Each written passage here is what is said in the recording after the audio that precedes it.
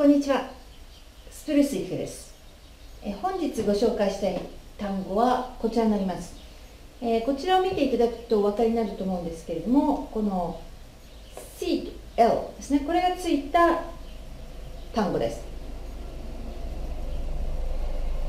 えー、私たち日本語話者っていうのはあの子音子というのが基本ないですので、えー、どうしてもここにですね母音を入れたくなるんですね。で、えー、このパターンって非常にあの言いにくいです私たち。心身の中でも言いにくいです。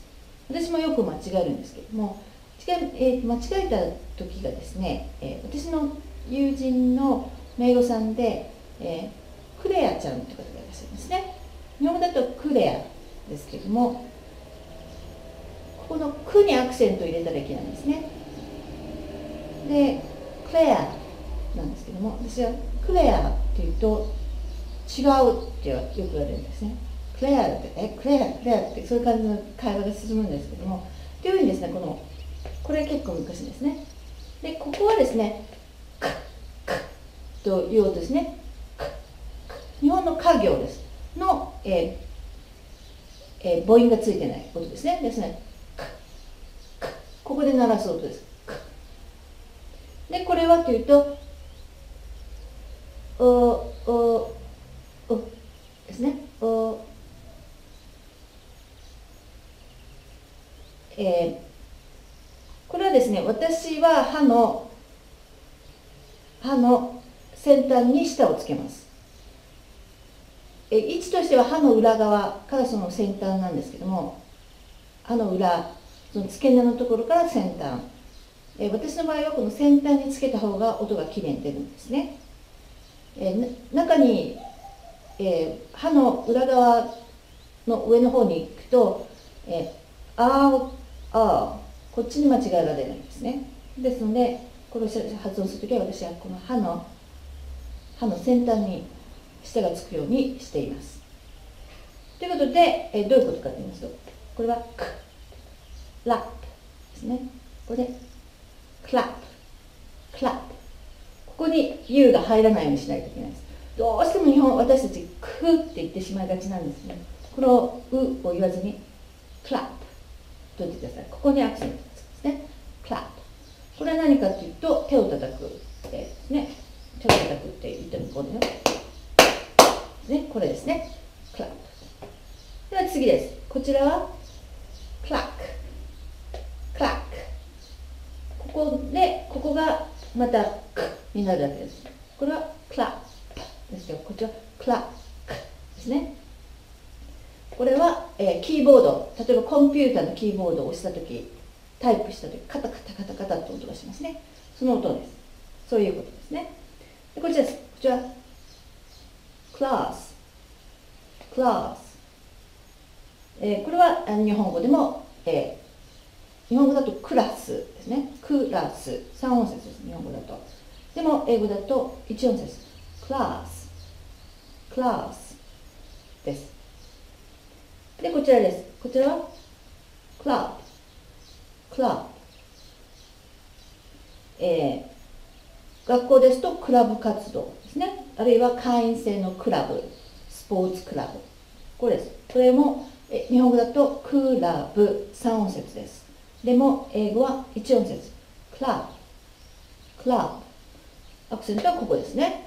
ここにつけると、えー、母音が入ってしまうんですね。ですのでここにクラブ。違いますねクラブ。です。